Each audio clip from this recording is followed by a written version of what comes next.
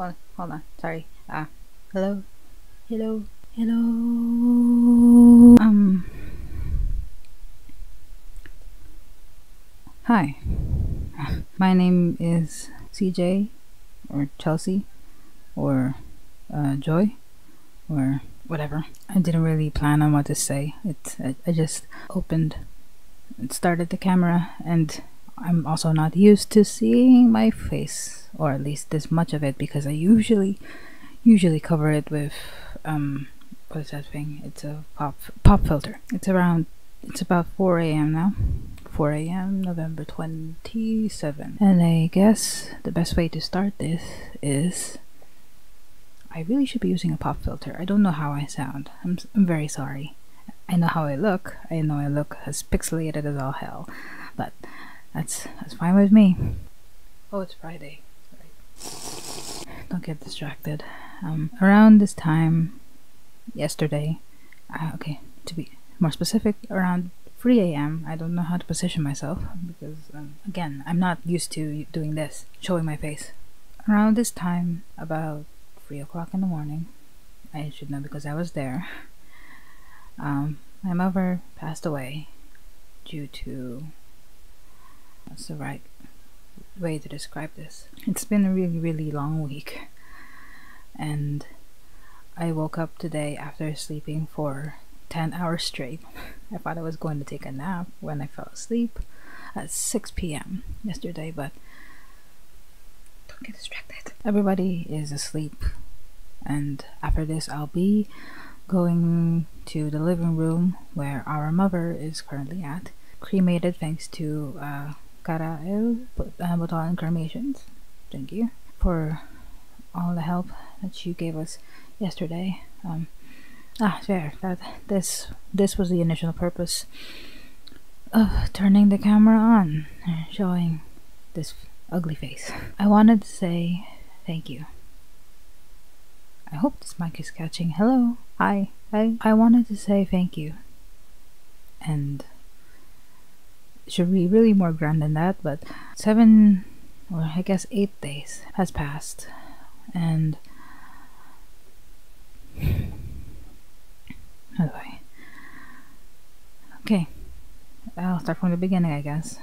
Seven days ago, around November, it was Thursday, November 19, our mother had her second, third stroke. Um, it wasn't, it was completely out of the blue for me and I have only, I guess, Kuya Bernard, if you're watching this, to thank the most because I was at work and uh, it was a normal thing that I couldn't, there wasn't any signal in the office I was currently in, which that's fine with me because I usually don't text people, don't really chat as much. Uh, there's, there's a long story there, but poison case in point, um, on that day, especially in that morning, or it was around 10 a.m., I was doing my thing until he came to our office and told me that I've been missing calls because our sis my sisters my sisters have been calling me saying that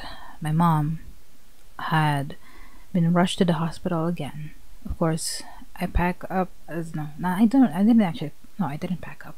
I went there as soon as I could to Dr. Uh, Santa Cecilia Med- Medical Hospital, which is a private hospital that we've been going to for as long as I can remember, I guess. She was rushed, rushed there, and it was, it was there. I got the story that uh, she was in the room, in her room, typing away at her laptop. I think she was planning to go to school, back to work, as she had been recently doing.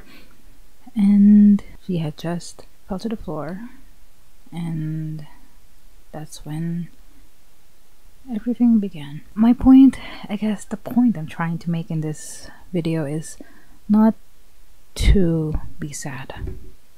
I'm trying to be thankful because I really am. It's just that I have a hard time showing it sometimes. Everybody, for the past seven days, because, okay, it's probably an essential point in the story for those who don't know, she was in a coma. She has had been in a coma for the past seven days. I'm sincerely hoping you can hear me. Trying not to wake people up. And for the past for the past seven days, where me and my younger sister then uh, have been looking after her in the hospital because we are the only ones allowed to be there. Safest to be allowed. That's it. She and I are around our 20s, and our two younger sisters are both teenagers. So, the safest option for all of us was to, for me and her, to be in the hospital. The, two youngest ones would stay at home. And for the past seven days, one of the first things that the, the doctor said was the only hope that my mother. Also, I'm sorry that I'm using English. I'm really sorry. It's if I'm going to tell people the truth, I feel like I'm I'll it'll be easier for me to do it this way. I'm trying my best to slow down. I'm really really sorry. Am I I'm going to put subtitles here. I'm sorry, future me. If you want to blame anyone for me using English all the time, blame it on my mother. Doc Kalekay and others have pretty much agreed that her only hope was to get brain surgery um, what happened was on her first stroke last year, her left brain had hemorrhage, and while she did recover, uh, her the left side of her body did had some issues. She could still walk, she could still talk.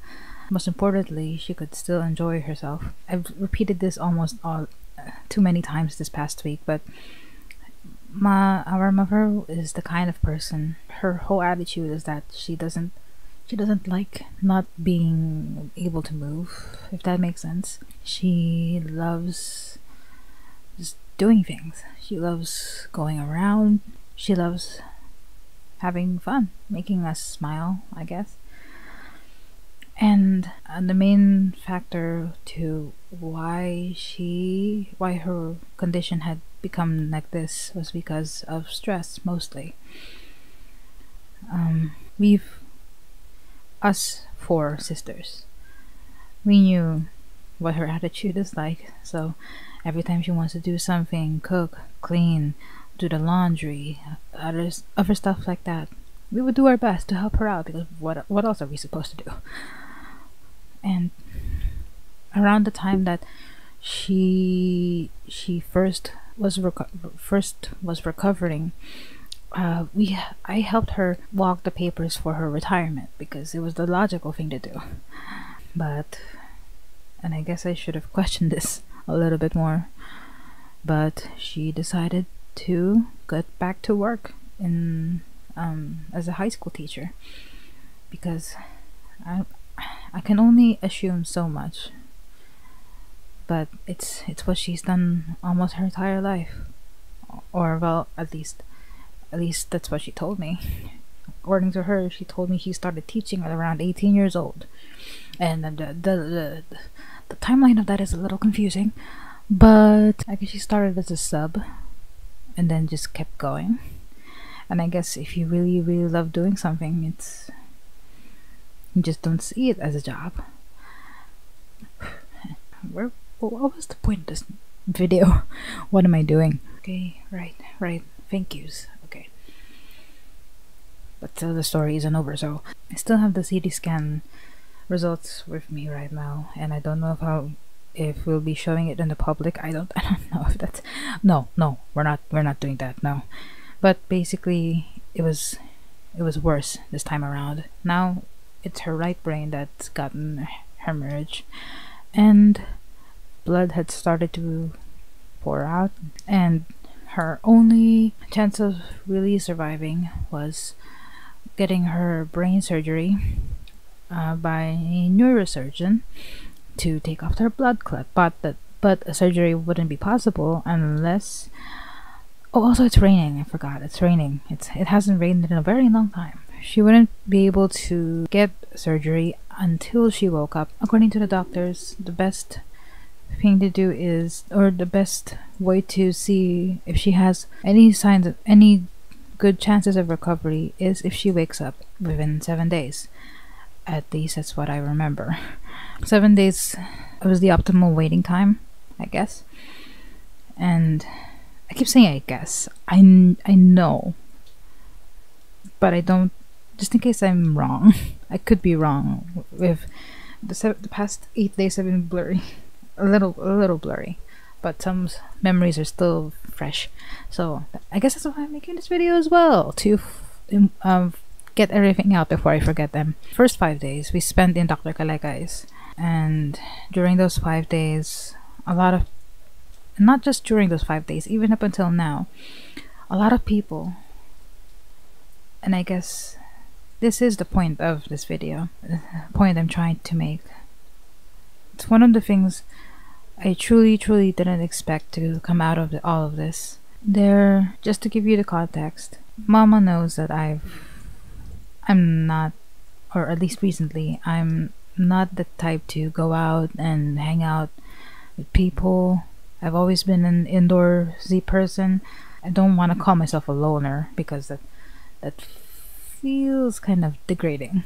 But I've always kind of isolated myself, or at least those are what my recent memories are. And the reason why what what's happened the past seven days has shocked me. It's because a lot of people have been showing up to help, and I, don't I don't know why it's shocked me so much. I guess my point is all the help that arrived for our mothers is something I would have never expected to happen at all. It, it, it, it just caught me by surprise, I guess, and I don't know if my sisters could tell. Uh, I mean, the, fir- on the first day, they- just told me to give my now give my account uh, bank account numbers and other possible ways that, that I know people could uh, donate money to mom's case too. So I gave my IG cash, my my number, and my PayPal account, and I guess I should have. It's it's my bad that I didn't really expect anything, or I wasn't thinking really. Uh, in my mind, the only thing I was thinking was how um, one, what my sisters needed at home to be able to be comfortable at by themselves, because they they know how. At least for now, our our mom has taught us enough to survive on our own. I just needed to make sure that they had everything they needed at home, and then two, how to make the the stay at the hospital comfortable. And uh, for lack of a better description, I just let my sisters do what they want with social media because, as far as I'm concerned, they're much better at it. I don't say this lightly. They did. They did a much, much better job of it than I ever could have. Because out of nowhere, I get messages and messages, uh, donations after donations of people. I have no idea who they are. But according to uh, when, when I asked my sisters, uh, it's and look at what they posted on social media. Uh, I saw what they did, and they again to re- reiterate one of them is a 20 year old two of them are teenagers and they made this entire donation drive for our mother by themselves. And just just to give you like just to give you an image of how how surprised I was. There were many very uh, there were many moments uh, during those seven days that I couldn't sleep, or I, I guess I've had enough sleep, but could, didn't really know what to do in the morning. I would look at the messages of the people because uh, in Gcash there's the option to uh, send messages and also through PayPal, and I will go through those messages and I guess one of the calming things that I do without like, really thinking about is counting. I don't know. I, I just like counting, I guess. Do I like counting? I'm not sure. But I gave myself the task of encoding all the people that have sent donations. And I thought it was going to be just a walk in the park. I thought it would be done by the end of like maybe an hour. Until now, I'm still not finished with the list of people. It's gotten to the point where it's reaching around the 300 mark. And that's only on Gcash. And it's a bunch of. I'm just trying to find the right words. Uh, a bunch of people I don't know.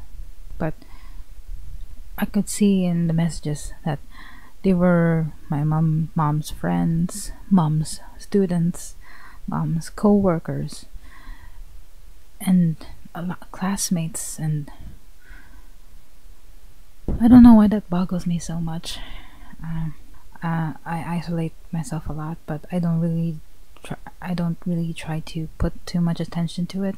I know for a fact that I do have some issues.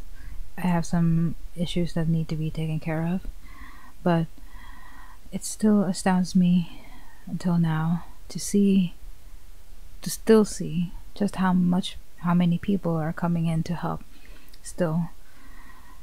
And and not and not here's the thing here's the kicker it's not just her friends it's not just the relatives it's even people i barely remember i old classmates from college from high school that i hardly remember i keep saying remember and uh, yeah i don't think I have enough time to explain that right now, but I guess there's this um misconception or yeah, this misconception in my head that if, if I don't remember someone, they probably don't remember me and that's completely illogical. But point being it's just I really truly didn't expect how much help has come our way, especially for the people we don't even know. And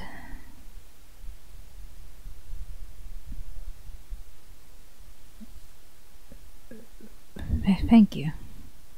Thank you, I guess. Thank you. Say it better. Thank thank you.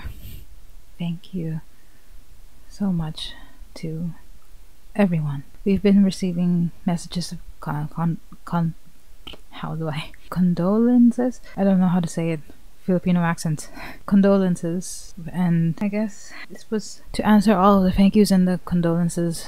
I thought this was the best way to do it. Also, if you're new to this YouTube channel, yeah, I this is a channel I have to just dump my videos and stuff. Please don't just ignore it. It's just full of gaming videos and speed paints and I, I even made it a second channel just to put the speed paint in because this is completely unorganized. Anyway I want to mention specific names but at, at the moment it's still a little fuzzy. But I guess to all of my mom's friends my mom's co-workers batchmates classmates here and there I I I have to be honest I don't know any of you well, not, eh, not not really. One thing I'm really surprised about is one of my teachers that used to be my mom's batchmate apparently encouraged a lot of other batchmates to help and that's trust me this other than this seven, these seven days being really really hectic it's also been a little weird to see just how many people are there that know her a lot of people coming together collectively just to see her wake up. I've never really been good asking for help. I completely terrible with asking for help if it has some if it's about just me. I'm glad my sisters were there. I'm grateful for the, to them for being able to ask help in my stead. And I guess that's why it's still registering to me now how many people have come together to see my mother smile again, to dance again, to just be herself, you know? I think this I think this video has gone long enough. I guess the last thing I want everybody to know is that well yesterday was the eighth day of her comatose. And I was there. I was there when she finally passed and finally found peace. And I have tried in my in everybody's in my sister's stead.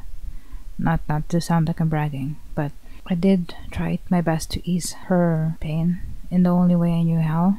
I I don't know if this is the right place to explain what happened or explain her last moments because that's a moment for her and for I guess for the people who love her. But if there's anything I know about her, it's that she wouldn't want to know that she lived her life with regrets. So I tried in the very last hours to make sure she didn't regret anything. I tried to tell her that she has nothing to worry about. That us four, we can, we can, we'll be okay. Maybe not now. Maybe not tomorrow, but soon, sooner or later, we will be okay. We can look after each other, and she's taught us everything we needed to know.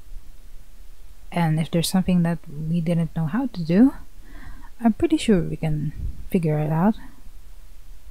If it's one thing you'll always learn from a teacher, from growing up with a teacher, is that you never, never stop learning.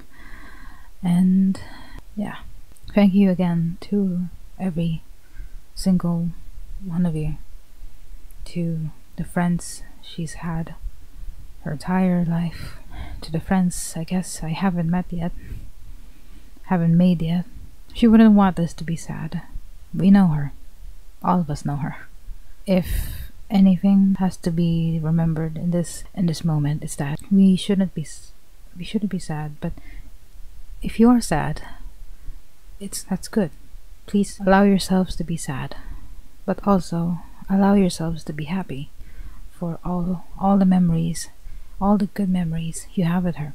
It's what we've been trying to do the past few days. Just remember all the good times because there are a lot of good times. Lots and lots of good times. Even I have personally just with her. I could I could spend an entire separate video just telling stories. Telling stories about what she and I and even the family have gone up to just because they're they're silly and they're funny and yeah. Be happy with all the memories that you have with her. Remember her and she'll never really die in your hearts. I'm not sure exactly what i'm supposed to say but people are starting to wake up. I can hear people out outside but yeah thank you for tolerating this ugly mug for how many? Oh, Nearing 30 minutes. Okay we'll do our best to send updates. If you'd like to visit visit her we have about a week to have her her urn to stay here and for the funeral. And after that we will be burying her next to our dad. Thank you. Thank you everybody for everything for all that you've done. I wish I could, I probably should have planned this more. If people want me to share stories that we have, I'll do my best to. Thanks again. See you guys in the next one. Take care. Stay safe. Stay hydrated.